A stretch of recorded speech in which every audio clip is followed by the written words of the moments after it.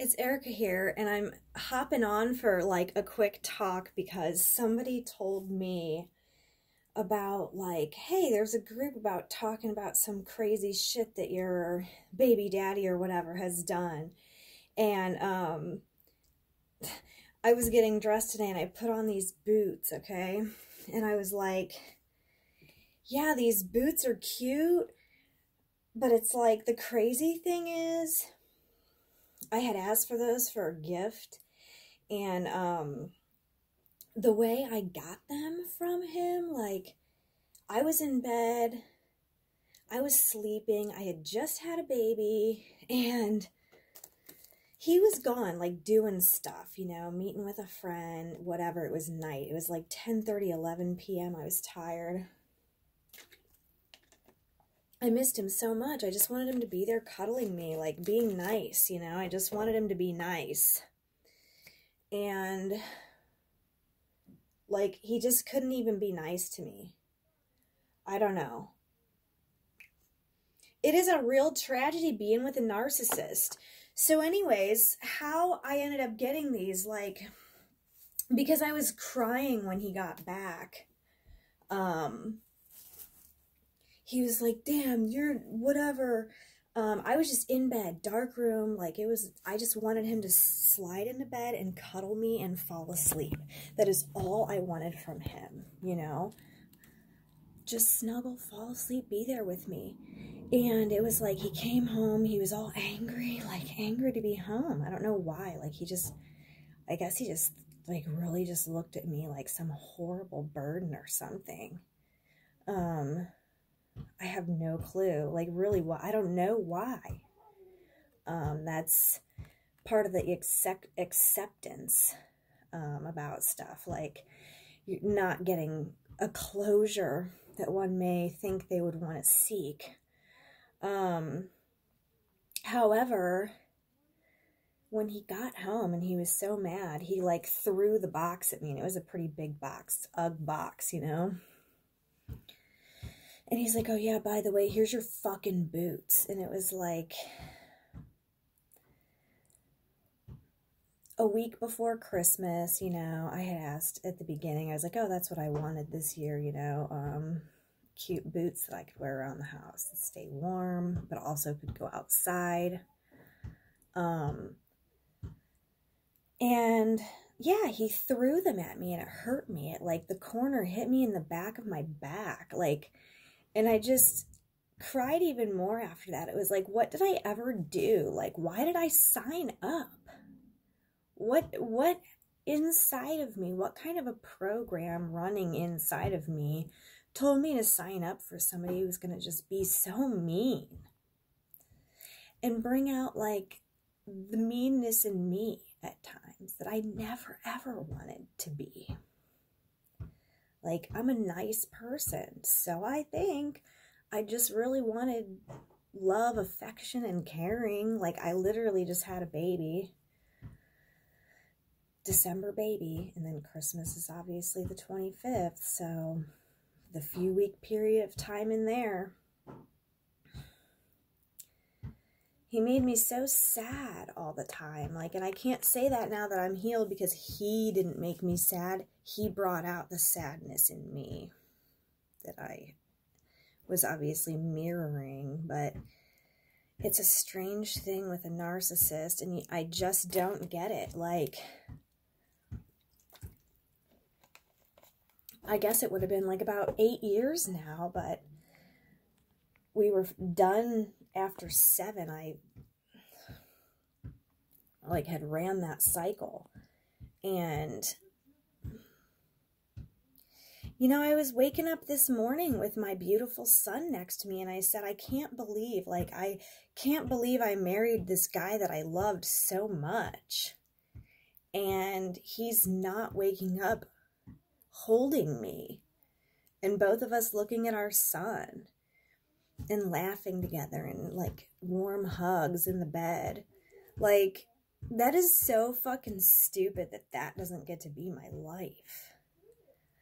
That's all I really wanted. I don't understand why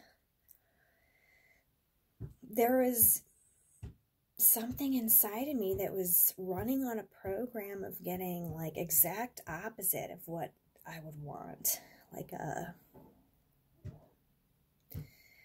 dysfunctional patterning, you know, uh, ancestral karma,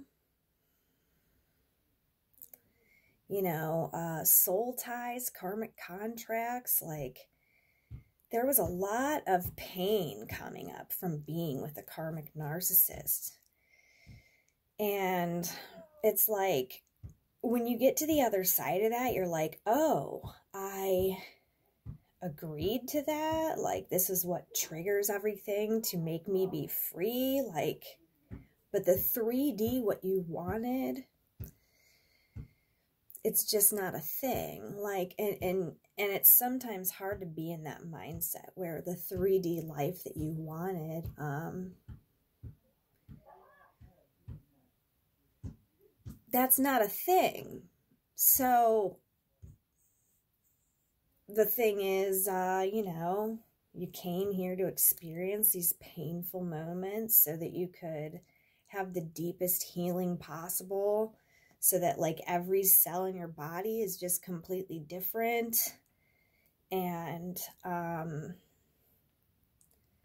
you know when you look back at that person you're like oh you almost like it's almost like if your little sister died or something i don't know how to describe um,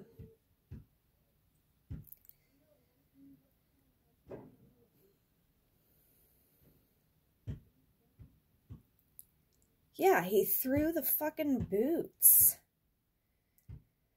at my back as I was laying in bed. Instead of just saving the boots somewhere in a hiding spot so he could wrap it nice for me for Christmas and just washed himself up, got a shower, and slid into bed with me for a cuddling night. that's what I wanted. But I never got to have any of that. Never, never the affection and love and intimate caring. Like, I think that's what just breaks a heart and a soul. So, you know, I really don't think about it that much anymore. Um, sometimes I wake up and I'm thinking, oh, wow, it's like I really don't have a husband here. That's really fucked. It's really fucked. I didn't know mentally the choice I made when I chose to be with him. It felt so right. It felt so great. We had like I don't know. It was just, I guess, all in my head because I, I guess none of that meant anything to him. Come to find out, right? I mean,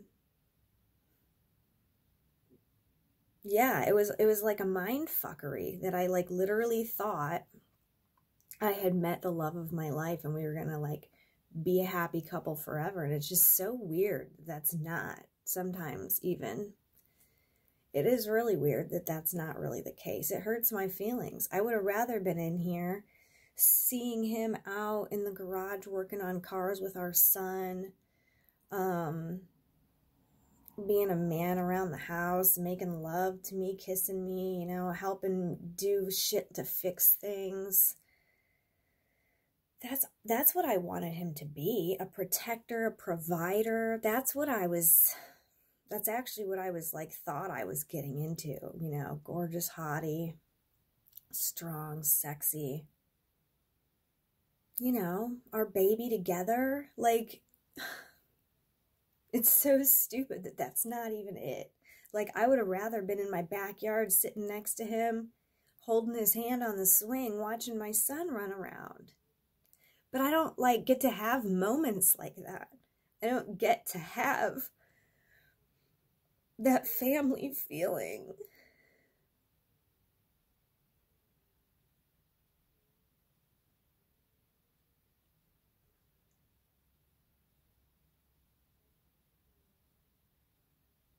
So that brings up a lot of pain, obviously. So I guess I'm going to have to deal with this shit. You know, if this pain is still coming up, that's another block keeping me from love. Again, like I've been working on, on clearing blocks for like a year or two. So I must have had a pretty good shift because the fact that this is coming up now that I didn't think was there. So this was obviously buried in my subconscious as something that bothered me. And when I put these boots on today to go outside for springtime, I guess I just had a flashback. Like, it's so dumb. Like, why couldn't he just hand me the boots and been like, hey, I love you. I got you a surprise for Christmas. And like, I would have given him a hug and kissed him and just been happy. Like, why would he choose to just be mean and be rude like in everything like the other time he gave me a present a sephora gift card he came in. I was in my kitchen. I'm baking banana bread. He comes in and he was like, Oh, well, here's your fucking Christmas present. And he took it out of his wallet and he slammed it down on my pan. Like, this one I laugh about because I've been through it with my narc, okay? Like, seriously. He came in through the back door when I'm in the kitchen and he's like, he was picking up our kid and fucking oh my god what a psycho. Like okay so i had made like fish sticks the night before so the dirty pan was on top of my stove. Oh my god this motherfucker. And it was before i got my new flat pan so it was like some janky fucking pan. Well, i actually had two of them and uh you know, it was his job to wash the dishes anyways. That was the thing. So when he left, I, I was fucked over on that because I cook a lot. And I really need that extra time not to be wasting my time cleaning. I really need to be focusing on really more important stuff. So he was like a great helper in that aspect. But he was so angry. That was the freaking worst problem is rage for like no reason. So I say, I'm like, I'm not the worst, okay? I'm like, I'm pretty nice, really. I'm sweet. I just want love. Like, how hard is it to just be nice to a girl? I don't get it. So, I mean, men are awful to women. Like, seriously. Anyways, this motherfucker comes in. I'm literally, um, ugh, I'm literally, I'm trying to shake his energy out. See, I'm like, I'm hearing about it. Okay. So I'm literally, um, just in there. He's like, oh, by the way, here's your fucking Christmas present, yelling, right? Takes it out of his wallet, slams it on the fish pan tray, which is like there was just little crumbles or whatever you know, it was in a Sephora envelope. It was cool. And like, I just turn around and I'm just like, okay. He's like, and then he's like, you'll probably be ungrateful for that too, or whatever. And I'm like, can you ever just hand me something in a nice way so I could like hug you for it or kiss you? Like, why are we not allowed to do anything nice? That was stupid. Like, especially because I just want to be on that warm, hot body. You know, he's Aries, fire sign. Like, skin is warm, muscles are hot. Like, just wanted it up on me. That's what I don't get. Like, geez, you would think what I was wanting was what anybody would want because it's like obviously an amazing way to live, but I don't know. He wanted to be mean to me instead. So, I had to accept that it was not my choice. It was not my choice in the matter. I married him thinking we would be together forever. Um, that if anything ever happened, that we would go to counseling, save our relationship. I would have never thought it would be so easily walked away from. But you know what? I was obviously duped big time. Fucking big time. Okay. I was literally. And you know what? Looks like I'm going to be making me some motherfucking banana bread today. Um, yeah. And I could have just been making some food in the kitchen, kissing on a cutie. Like, what is the issue with like just being sweet and cute and cool and just loving somebody. I don't get like why it has to be the opposite of that. So that was kind of like my quest. That question there has become my quest. Um, what in me would attract this time and again? So I've been doing a lot of deep diving on past lives, especially um, even this life, just faulty programming. Uh, you know, and I had to dismantle all of that. So it's not going to be a problem anymore. But the problem is, like this, that last one, that was something else. That was a karmic twin narcissist. So those who know would know. Those who don't know, be fucking glad you don't know. This is what I was looking for, actually. The lava rock. I thought this one was it, and I was like, oh no, that's my obsidian. But I was like, well, I need the lava rock too, though. That's what I thought it was. And here it is. So I'm putting my immunopower. I'm going to do a fabulous makeup video, I think can't get too much of the immuno power, you know. I really should do my nails. There's really just no excuse for this. I mean, I have good reasons, I guess, as to why I'm spending my time doing other things, but that's just unprofessional about me. Trying to decide. I have some really cute really cute idea I want to do, but I'm like, geez, if I can't even go out and like be cute with it, why bother? So I'm going to save that for sometime when I can hit the beach in a pink bikini. Hot pink. Mm -hmm. All right, well, I need some more nourishment. I'm going to have to go cook up some patties maybe. Mm. I'll go have some macaroni and cheese, I think.